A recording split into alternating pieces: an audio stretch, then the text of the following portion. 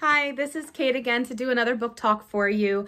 I don't know if you're anything like me, but right now I'm finding it really difficult to focus on anything on my to be read pile. I, I just can't get comfortable reading even my favorites like romance novels that I normally find to be really comforting. The world is scary, we're all uncertain about our future, uh, but sometimes I find that I can fall back on some of my favorites, including my very favorite murder mystery, which is And Then There Were None by Agatha Christie. Agatha Christie is considered the queen of crime, and I think that it is a title that is well deserved. And in my opinion, this is her finest novel. I also really like Crooked House, but this one is the one I always go back to. This book is exciting, and um, no matter how many times I read it, it still surprises me each and every time.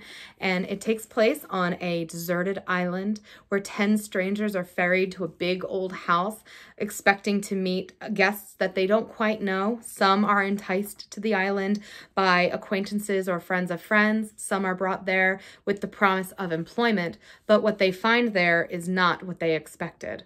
So these 10 strangers their hosts are not there, and a strange radio recording informs them that they are all guilty of some despicable crime and that they are going to be put to death. One by one over the next weekend, um, we do see that these people start dying all to the tune of an old school nursery rhyme. As I said, I've read this book maybe 10 times in my life and it still thrills me each and every time. The writing is sharp and exact and even if though I know the ending, it still surprises me each time.